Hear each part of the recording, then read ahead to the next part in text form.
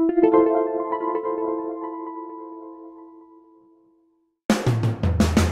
are here today for the fourth annual Dan's Taste of Summer that encompasses two amazing foodie events, the foodie events of the Hamptons.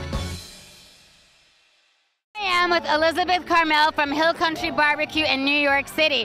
Hey, Elizabeth. Hey, how are you doing? I'm great. What are you making for us today? Oh, tonight I've got an amazing dish. It is a smoked and grilled tri-tip. That's kind of like a steak, right? It's a cut that a lot of people here don't know.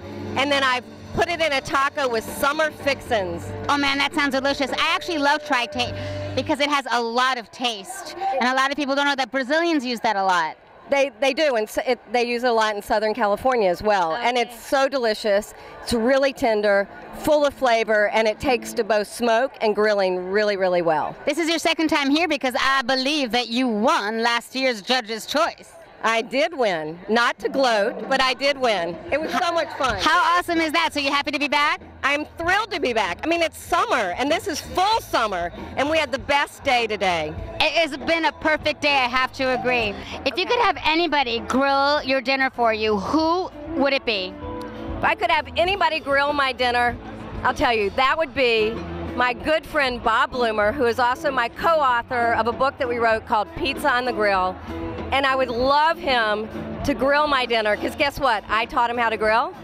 Awesome! and so he does it my way.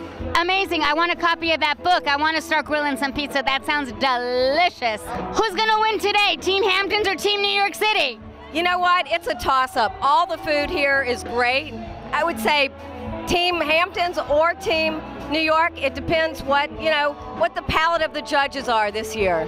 What is your favorite item to grill of all items? You know what? The truth is, my favorite thing to grill is whatever I'm grilling right now because I'm an equal opportunity griller and the grill makes everything taste great. And so, you know, when I'm in the mood for asparagus, asparagus is my favorite thing to grill. Tonight, my favorite thing to grill is tri-tip. I think that sounds amazing. Well, good luck to you, Thank and you. thank you for being here. Oh, it's my pleasure. Thank you. Thanks for having me. Bye.